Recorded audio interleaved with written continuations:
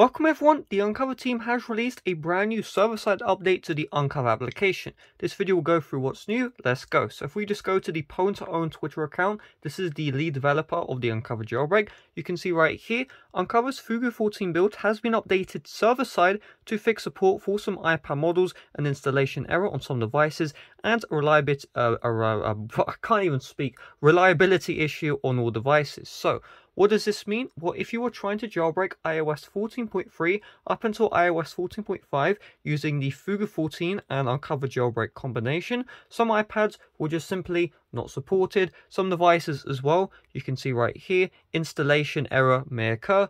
That is now fixed server side. So what does that mean? Well, if you were trying to sideload Fugu 14 with AltStore, just try it again, and that should have uh, the issue fixed. Everything should work now. If it still doesn't work, then, well, I guess the unc0ver team still needs to update their stuff.